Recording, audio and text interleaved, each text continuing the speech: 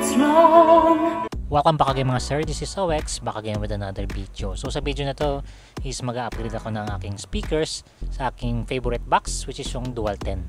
So yung gagamitin ko na speakers is yung kay Joson na bago which is yung kanyang Neo 10 na neodymium magnet speakers.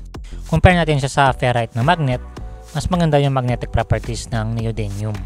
Ibig sabihin nun, mas maganda yung hatak niya sa voice coil. And then yung isa pang benefits nun is mas maliit siya and lightweight. Kaya yan yung isang advantage kung naka-neo magnet ka na speakers. Yun nga lang, medyo may kamahalan na siya and pricey. Mostly ginagamit ito sa mga line arrays kasi lightweight siya and hindi bulky. And kasya siya kahit sa mga liliit na speaker boxes. So for the specs, yung power rating niya is 600 watts at 8 ohms with 2.5 inches voice coil na naka-neo din yung magnet. Paper cone, and syempre pumapalo na siya ng 2.9 kilos. Meron rin itong 12 inch and 15 inch na version. So, dito lang yung ginamit ko kasi yan yung preferred ko na mid-eye setup. More on vocals kasi yung hanap ko. So, kabit na rin siya sa dual 10 ko. And syempre, i-testing natin kung ano yung tunog niya dito sa aking box. So, yung wiring ng box ko is naka-by amp po yan. Ibig sabihin nun, yung plus 1 is naka-high and yung plus 2 is naka-mid. So, kung gusto ko sang gawing full range, magja-jumper lang ako ng wire from plus 1 to plus 2. So yung horn na ginagamit ko is yung Broadway Line Array Waveguide. And then syempre yung compression driver is yung Broadway 350 watts na orange edition. So itry ko sana yung kay Juso na tweeter or compression driver kaso nga lang medyo maliit siya and wala po akong adapter para ikabit sa waveguide. Kasi kailangan mo ng adapter magkabit ka ng tweeter sa waveguide. So napansin ko is wala po siyang magnetic properties sa likod ng kanyang magnet. So nasa dust cap po yung ano niya yung magnetic properties niya or malapit sa voice coil. And then napansin ko rin is apat lang yung butas niya for screw or mounting. Kaya naman siguro apat lang kasi lightweight naman siya. Hindi naman siya naman westerite and hindi rin siya mabigat. So ayan, nakatipid din naman tayo ng mga screws. At this time, parang naramdaman ko na medyo gumaan nga yung bagong setup ko sa Dual 10 ko. Para naman sa speaker cover, may nilagay lang ako or nag-upgrade lang ako ng parang mesh kung, tawagin. Para protection sa alikabok or kung sa outdoor na events, hindi mainitan yung speakers natin and syempre hindi rin mabasa. So konting ano lang yan, konting upgrade lang yan sa ating Dual 10. So ngayon, unahin natin i-testing is yung high natin or yung compression driver. So pinalitan ko ng 1.8 na microfarads yung capacitor nito kaya medyo maling manipis yung tunog niya.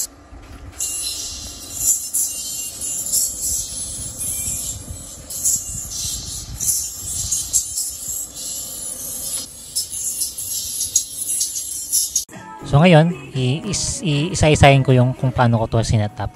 So sa drive rack, nakamono po ako. Ayan. So sa high is hanggang 5K lang po yung aking crossover. Sa mid naman is uh, 120 Hz yung pinakamababa. Kaya medyo hindi hindi nagbe-bass or hindi naglo-low mid yung ano ko.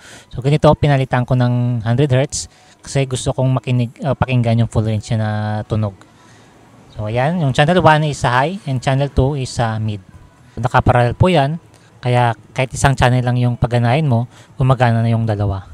By the way pala, yung ampli na ginagamit ko is yung Jusun Moon Pro Max 1. ay mali, yung 4.800 na 4 channel po yan na power amplifier. So yan nakita yung sa likod. At channel A and channel C lang yung input ko. Kaya naparallel kasi ako eh. Kaya pwede tayong mag, ano, mag, pwede natin gamitin yung apat na channel kung ganyang setup natin. And then syempre baseline ko is hindi po ako nag-EQ kung hindi naman kailangan. So ngayon isi soundcheck na natin ng mga quality music. So wag muna tayo mag-play ng ragatak dito kasi hindi bagay sa setup ko eh. Mas prefer ko muna yung mga ganito may mga vocals na, na mga music para mag try talaga natin kung ano yung tunog niya in terms of quality. I can't tell where the journey. Let's by if I don't open up my eyes. so that's fine by me. When I'm wiser in the mood. I've been hearing symphonies before all I heard was silent. A rhapsody for you and me. Now I can't find a key without you. Just wanna be part of your symphony.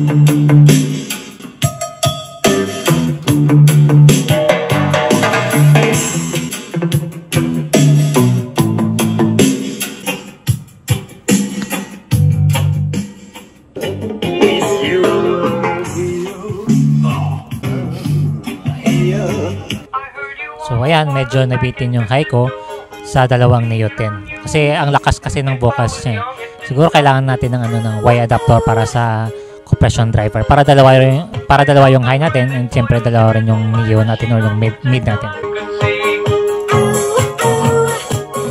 At this time, medyo nagdagdag lang ako ng 10k to ano to 12k para may konting hangin yung high natin para mabalance lang natin yung nakulang na high kasi nagdo-dominate yung mid natin na vocals. high in the sky.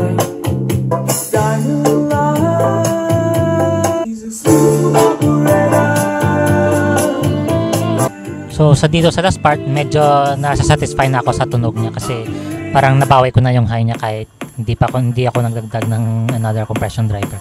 Nag-EQ lang ako ng konti para ma-fix yung issue.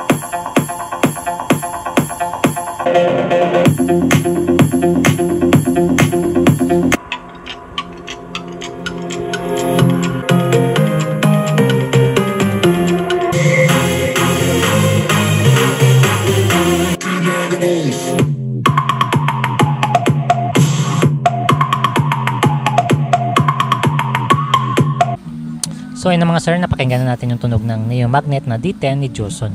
So pahinga muna tayo kasi may nag-sound trip sa likod ko. And see you in the next vlog na lang para sa full Joson setup.